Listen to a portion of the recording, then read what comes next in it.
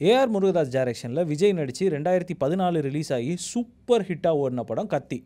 இந்த படத்தை ஏற்கனவே தெலுவில் Chiranjeevi Khaidi number one fifty அப்படின்ற பேரில் ரீமேக் பண்ணார்.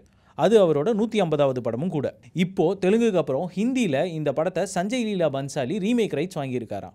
ஏற்கனவே ஏஆர் முருகதாஸ் படம் கஜினி ரமணா துப்பாக்கி இதெல்லாம் ஹிந்தியில் ரீமேக் ஆகிருக்கு அதே மாதிரி இப்போ கத்தி படத்தையும் ரீமேக் ரைட்ஸ் வாங்கி சஞ்சய் லீலா பன்சாலி டைரக்ட் பண்ண போகிறாராம் இந்த படத்தில் விஜய் நடித்த கேரக்டரில் அக்ஷய்குமார் நடிப்பாருன்னு ஒரு ரூமர் இருக்குது அது எந்த அளவுக்கு சாத்தியம் எந்த அளவுக்கு உண்மை அப்படின்றது போக போக தான் தெரியும்.